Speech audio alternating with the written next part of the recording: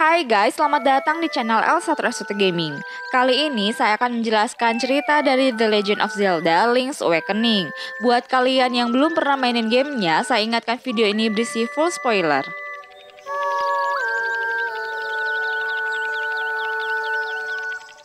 Link's Awakening merupakan kelanjutan cerita dari A Link to the Past. Sang pahlawan yang bernama Link telah berhasil menyelamatkan Hyrule dari ancaman Ganon. Meskipun demikian, Link tidak ingin terlalu berpuas diri dalam kedamaian. Ia berniat terus berlatih untuk meningkatkan kekuatan. Link melakukan perjalanan keluar Hyrule, melintasi samudra dan menjelajahi negara-negara asing. Dengan melakukannya, Link mendapatkan banyak sekali pengalaman dan pengetahuan. Kemudian dalam perjalanan pulang ke Hyrule, tiba-tiba lautan yang tadinya tenang mulai bergejolak. Langit yang cerah berubah menjadi gelap dan bersamanya badai menerjang begitu dahsyat. Link yang mengendarai sebuah perahu kecil terombang-ambing diterjang badai. Meski dengan semua kekuatan dan pengalaman yang dimiliki, Link tak kuasa menahan hebatnya kekuatan alam. Meski telah berusaha sekuat tenaga bertahan dalam terjangan badai, pada akhirnya Link tak berdaya setelah sebuah petir menyambar perahunya. Link pun hanyut terbawa oleh ganasnya ombak. Link terseret ombak hingga terdampar di sebuah pulau misterius. Pulau tersebut bernama Koholin Island. Sisa-sisa perahu Link juga berserakan di pantai selatan pulau tersebut. Kemudian datanglah seorang gadis cantik yang dengan sukarela menolong Link.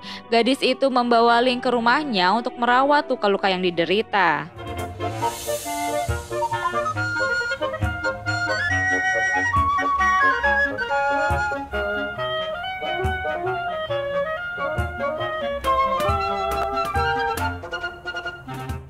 Beberapa hari kemudian, Link akhirnya terbangun. Luka-lukanya sudah pulih sepenuhnya. Pada awalnya, Link mengira gadis yang menolongnya adalah Putri Zelda.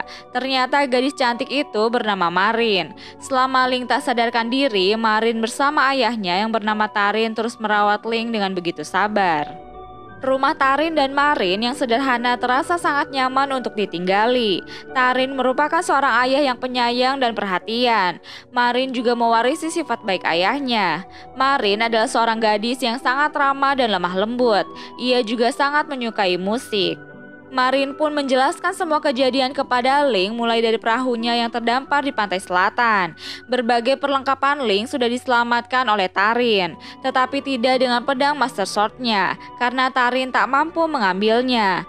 Link yang merasa sudah benar-benar sehat keluar dari rumah Tarin untuk mengambil pedang kesayangannya. Dalam perjalanannya menuju pantai selatan, Link benar-benar takjub dengan Koholin Island. Pemandangan yang indah dan unik sama sekali belum pernah ia lihat sebelumnya. Penduduk pulau juga terlihat sangat bahagia.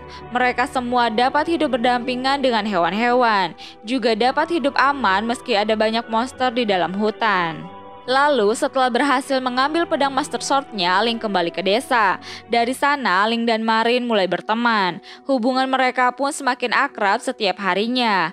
Link mendapatkan kesempatan untuk mendengarkan nyanyian indah Marin tentang dewa pulau tersebut. Sebuah lagu yang berjudul Ballad of the Windfish. Tak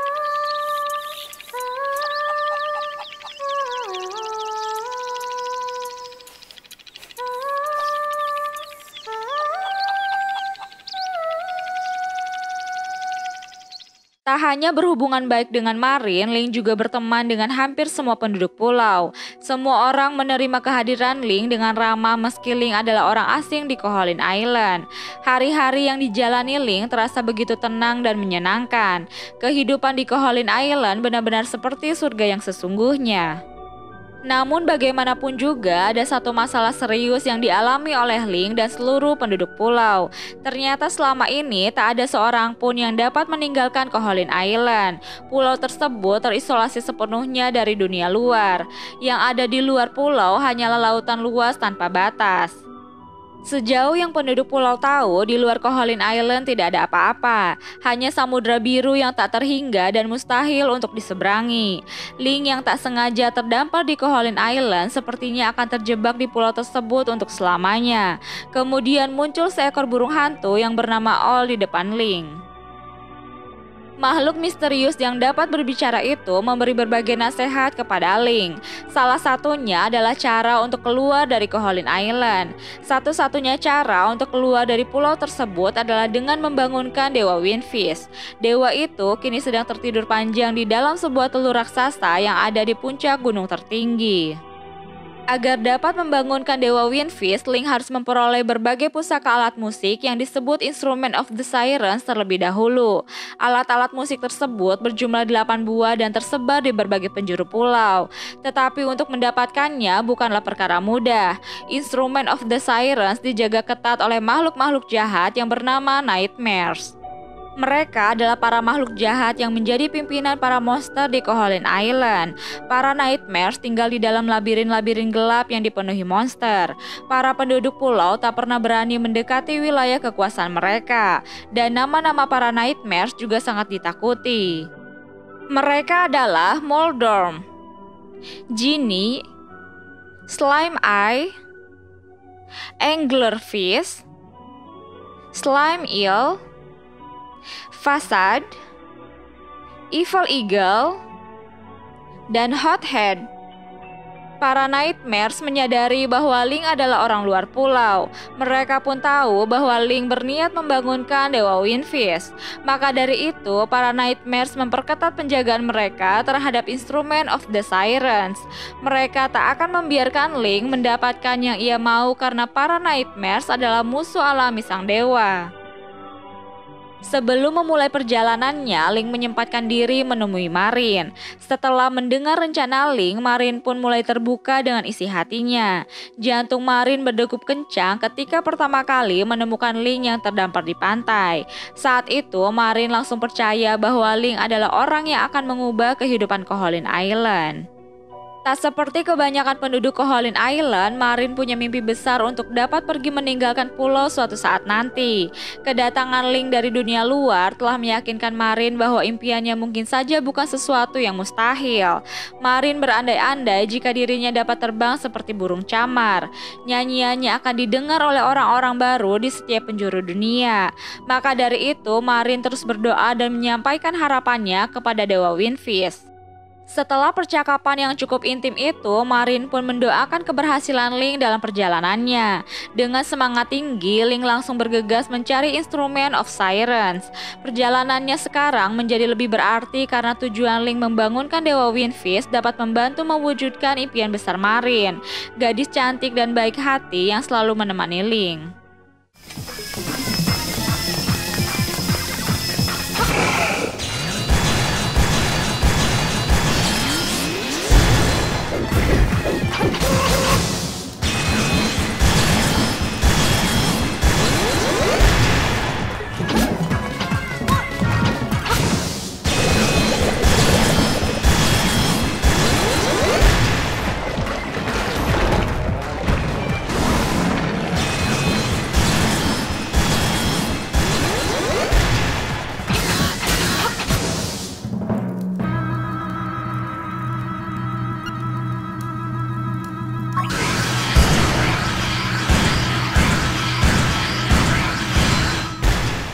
Tetapi, sebuah kenyataan pahit mengenai Koholin Island harus diterima oleh Ling.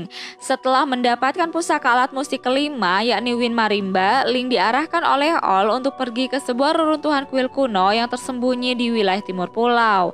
Di dalam kuil itu terdapat sebuah prasasti yang menjelaskan mengenai rahasia gelap Koholin Island. Seluruh pulau Koholin adalah sebuah ilusi. Semua orang, hewan, monster, lautan, dan langitnya pun hanya sebuah bayangan mimpi. Dan jika si pemimpi dibangunkan, maka Koholin Island beserta seluruh kehidupan di dalamnya akan lenyap, bagai sebuah gelembung udara yang pecah oleh tusukan jarum. Bagi yang belum subscribe, silahkan subscribe dan klik tombol lonceng untuk mendapatkan notifikasi terbaru dari L101 Gaming. Mari kita lanjut lagi ceritanya. Ling sangat terkejut mengetahui kenyataan itu. Semua yang ia alami di dalam pulau tidaklah nyata. Setiap peristiwa yang terjadi setelah Ling tersambar oleh petir terjadi di dalam alam mimpi. Penduduk pulau, Tarin, Marin, anak-anak, labirin-labirin penuh monster, serta semua pertarungan yang Ling lakukan hanyalah bagian dari ilusi. Sebuah ilusi yang terjadi di dalam mimpi Dewa Winfish. Sebuah ilusi yang akan lenyap begitu sang dewa terbangun. Kini Ling dihadapkan pada sebuah dilema. Apakah ia harus melanjutkan perjalanan untuk membangunkan Dewa Winfish dan keluar dari ilusi? Tetapi dengan melakukannya, Koholin Island beserta kehidupan di dalamnya akan menghilang selamanya. Pilihan kedua adalah Ling mengurungkan niatnya untuk membangunkan sang dewa, sehingga dapat tetap tinggal di kehidupan yang indah bersama Marin dan yang lainnya. Namun Ling tahu bahwa pilihan kedua tidaklah bijak. Ling masih memiliki kehidupan nyata di luar sana. Ling masih memiliki Putri Zelda dan kerajaan Hyrule yang harus ia lindungi. Pada akhirnya, dengan berat hati Link memutuskan untuk melanjutkan perjalanan. Untuk menemukan tiga pusaka alat musik yang tersisa, Link menjelajahi dungeon dan labirin Face Shrine di timur, dan Eagle Tower serta Turtle Rock di pegunungan utara.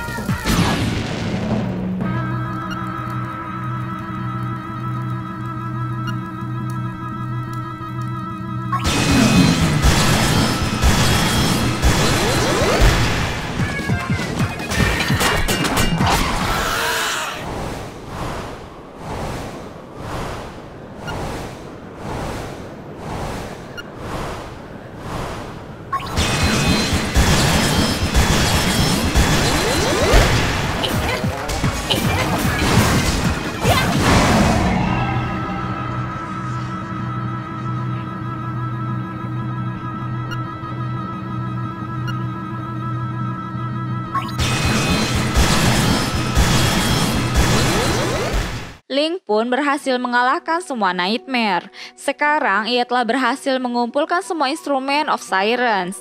Setelah itu, Link menemui Marin untuk belajar nyanyian Ballad of the Windfish. Marin pun dengan senang hati mengajari Link.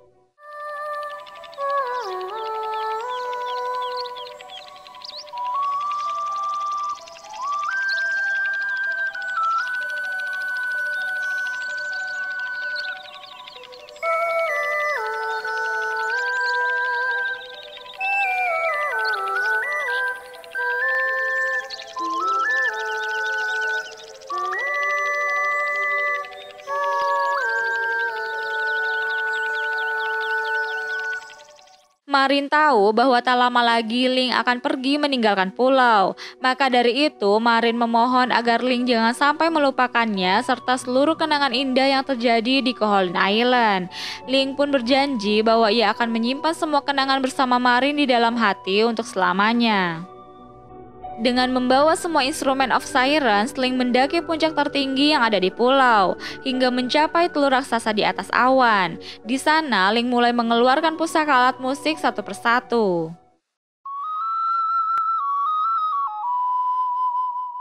Full Moon Cello, Konghorn, Silly Bell, Surf Harp, Wind Marimba, Coral Triangle, Organ of Evening Calm, dan Thunder Drum.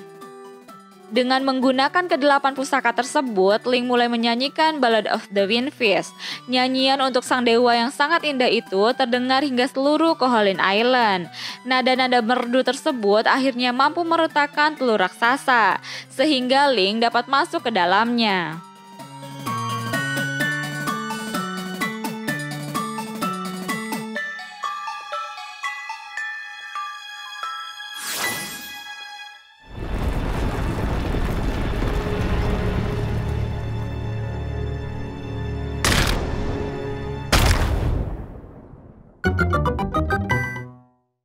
Di dalam telur raksasa, alam mimpi dari Koholin Island terlihat sangat jelas. Warna-warna yang kabur dan cahaya yang redup menghiasi setiap ruangan di dalamnya. Link terus masuk ke dalam hingga tiba di sarang Shadow Nightmare. Penjahat yang sesungguhnya dibalik terpenjaranya Dewa Windfist dan juga merupakan pemimpin sejati para Nightmare di seluruh Koholin Island. Shadow Nightmare merupakan makhluk parasit. Ia menyerang Dewa Windfish yang sedang tertidur, memaksa sang dewa untuk terus tidur dan memenjarakannya di alam mimpi. Koholin Island merupakan alam mimpi Dewa Windfish, dan Shadow Nightmare secara perlahan mencemari alam mimpi tersebut. Tujuannya adalah agar Dewa Winfish terus bermimpi tanpa akhir hingga jiwanya menjadi lemah. Pada saat itulah Shadow Nightmare dapat menguasai alam mimpi sang dewa. Jika hal tersebut terjadi, maka penduduk Koholin Island akan menjalani penderitaan yang lebih buruk dari kematian. Mereka semua akan terperangkap dalam mimpi buruk untuk selamanya. Tentu saja Link tak akan pernah membiarkan hal tersebut terjadi. Dengan gagah berani, sang pahlawan dari Hyrule itu bertarung melawan Shadow Nightmare.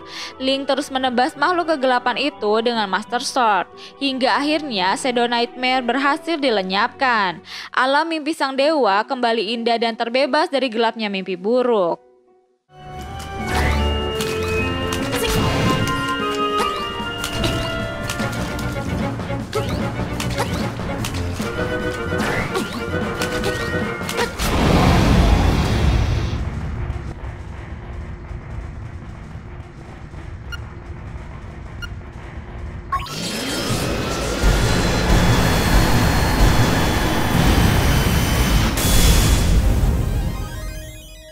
Setelah pertarungan tersebut, Link mendaki sebuah tangga yang sangat indah yang menuju ke angkasa. Sesampainya di puncak tangga, Link kembali ditemui oleh All. Burung hantu misterius itu akhirnya memberitahu siapa dirinya sebenarnya. All merupakan bagian dari kesadaran Dewa Windfish. Ketika Dewa Winfish tertidur dan diserang oleh Shadow Nightmare, sebagian alam bawah sadar sang dewa mewujudkan diri menjadi All. Karena Shadow Nightmare sangat kuat, All terus berusaha mencari seseorang yang dapat menyelamatkan Dewa Winfish. Hingga akhirnya All menemukan Link di lautan dan membawanya ke alam mimpi Koholin Island. Setelah tugas All selesai, ia kembali ke wujud aslinya. Link dan Dewa Winfish pun saling bertatap muka langsung. Sang dewa berusaha menghilangkan keraguan dalam hati Link. Sang dewa mengatakan bahwa meski nantinya Koholin Island akan lenyap, semua kenangan indah di dalamnya akan selalu tersimpan di dalam hati dan pikiran Link. Kenangan indah itulah yang dapat membuat alam mimpi terasa bagaikan sebuah kenyataan. Lalu Dewa Windfish mengajak Link untuk terbangun dan keluar dari alam mimpi bersama-sama. Untuk dapat melakukannya, Link harus menyanyikan Ballad of the Windfish untuk terakhir kalinya. Di sebuah puncak tangga yang sangat indah, di bawah cahaya bintang di angkasa, Link memainkan instrumen of the Sirens dengan sepenuh hati. Lantunan nada-nada melankolis mulai membangunkan sang dewa dari tidur panjangnya. Kehidupan Koholin Island pun mulai memudar dan menghilang. Penduduk desa yang damai dan bahagia, hewan-hewan peliharaan mereka, anak-anak yang selalu bermain setiap saat, pantai selatannya indah dan penuh kenangan, Tarin seorang ayah yang penyayang dan bahkan Marin orang yang paling dekat dengan Ling. Seorang gadis cantik dengan mimpi besarnya untuk menjelajahi dunia, Seorang gadis Rama yang sebenarnya jatuh hati terhadap sang pahlawan dari dunia luar ikut lenyap dalam sekejap mata. Koholin Island beserta seluruh isinya, orang-orangnya, pertemanannya, kekeluargaannya, kisah cintanya sekarang tidak ada lagi, menghilang ke dalam kehampaan. Link terpaksa mengakhiri semua itu karena tak peduli mau seindah apa pun, semua mimpi harus berakhir karena kehidupan nyata sudah menanti. Burung-burung camar terbang berputar-putar di langit, mengitari Ling yang baru saja bangun. Perahu Ling hancur berserakan. Ling pun mengambang di lautan hanya dengan beberapa kayu bekas perahunya. Meski kejadian di Koholin Island terasa begitu lama, waktu di dunia nyata berjalan hanya sebentar saja. Link termenung memikirkan semua hal yang telah terjadi. Link penasaran apakah semua yang ia alami hanya mimpinya saja. Apakah semua kenangan indah yang ia rasakan tidaklah nyata. Apakah pertarungannya melawan Shadow Nightmare hanya merupakan sebuah hayalannya. Tiba-tiba langit di atas Link berubah menjadi gelap, bukan karena badai, melainkan karena ada makhluk raksasa yang terbang di atas Link. Makhluk itu adalah Dewa Windfish. Link sangat terpukau melihat keanggunan sang dewa. Pemandangan menakjubkan itu juga menjawab keraguan dalam hati Link. Petualangannya di Koholin Island adalah nyata. Sebuah petualangan luar biasa yang dijalani Ling di dalam alam mimpi sang dewa penguasa angin. Sejak awal, sang dewa tersebutlah yang membuat badai hingga menghancurkan perahu Ling. Semua itu dilakukan karena sang dewa sangat membutuhkan pertolongan Ling. Dan setelah Ling berhasil menyelamatkannya, sang dewa pun memberikan hadiah sebagai ungkapan terima kasih. Hadiah tersebut adalah semua ingatan dan kenangan akan Koholin Island akan selamanya berada di hati dan pikiran Ling. Serta hadiah yang sangat spesial adalah Dewa Windfish mengabulkan doa dan permohonan orang terdekat Ling yakni Marin. Dewa Windfish mengeluarkannya dari alam mimpi dan menjadikannya seekor burung camar. Burung camar itu terbang ke sana kemari di atas Ling dengan menyanyikan Ballad of the Windfish. Mendengar nyanyian merdu itu, Ling langsung terbayang wajah cantik Marin di atas langit. Ling pun ikut berbahagia bahwa Marin kini dapat mewujudkan impian besarnya.